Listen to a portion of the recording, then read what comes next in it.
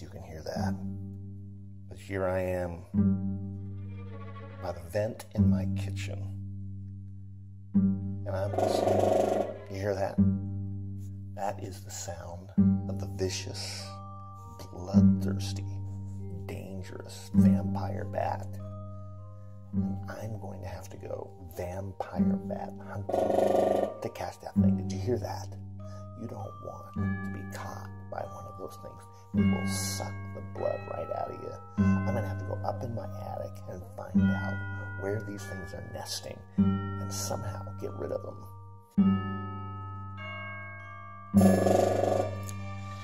Sounds like they're beating their wings against the vent. A whole nest of them suckers. The problem is, they're up in the attic of a mobile home. Maybe they're really not vampire bats. Maybe they're just a ghost. Maybe this place is haunted.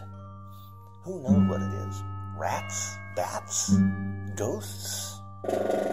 Birds?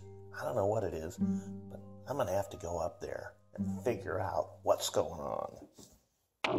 So here I am, with my head in the attic, timidly peeking my head around the corner looking for the vicious, hard to find vampire bats or ghosts or whatever I've got up here.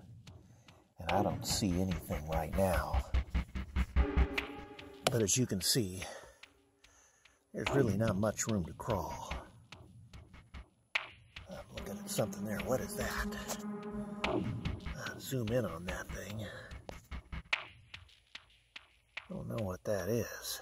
What I've got is I've got this incredible snake camera that I'm going to use to run all the way down, see if I can't get a picture what is inhabiting my attic. Brought my vampire bat camera up here. You can see I got a light on there, and, and then over here, you can see that I got the camera going, and I'm getting ready to to try and see what I can find the nest of those nasty suckers.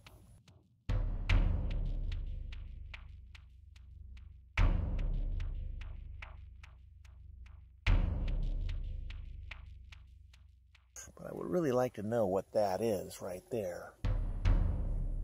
Cannot really see it very well. Let's zoom in again.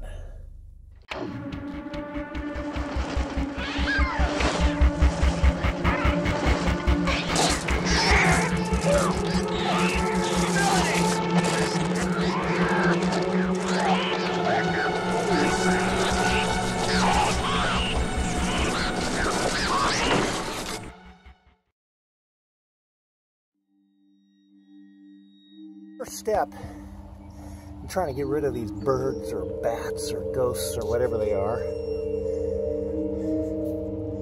is you need to go through your entire soffit and check all your vent and make sure that there's no way they can get in there. And you look for telltale signs like, well, look at that. You check the entire soffit area.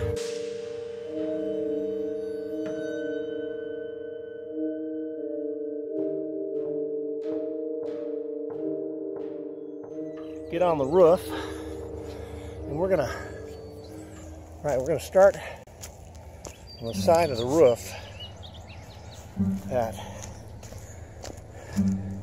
nearest to the problem. So it's this vent here or this vent here.